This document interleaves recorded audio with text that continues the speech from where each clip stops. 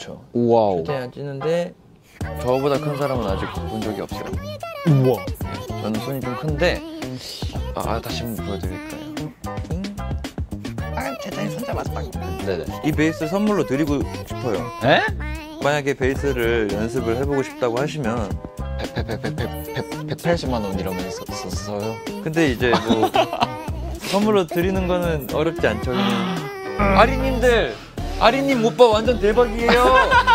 나보다 잘할 것 같은데 좀만 더 하면 굉장히 저와 비슷한 시청자분들이 많아요. 다 이뻐요. 네, 네. 다 잘생기고 예쁘고. 아 그런 것 같아요.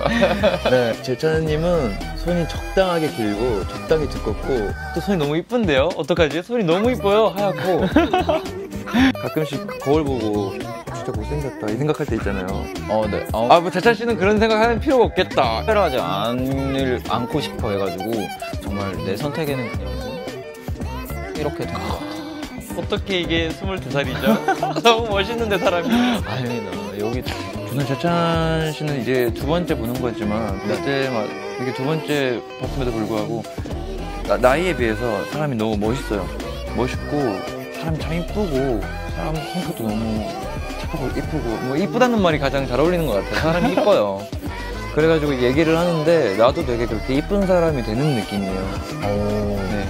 그래서 능력도 되게 좋고 뭐든지 열심히 하려고 하고 대표님은 뭐든 하면은 다 할 수 있는 사람인 것 같다는 생각이 들어요.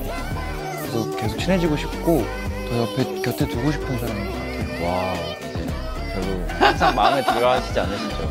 아, 좀 더 멋있게 해서 나중에 제가 따로 보내드릴게요. 아, 감사합니다. 짱이면님. 약속. 약속. 좋아.